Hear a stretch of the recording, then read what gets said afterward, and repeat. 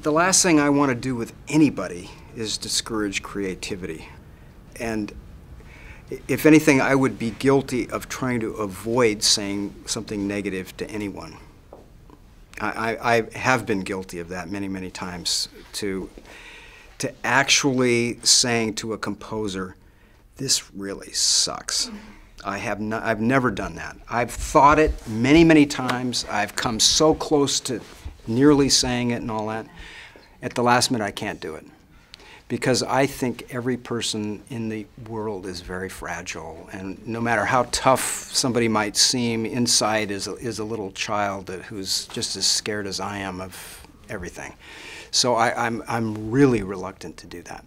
But that doesn't mean you have to play it. You know, you can say, can't do it. Can't do it.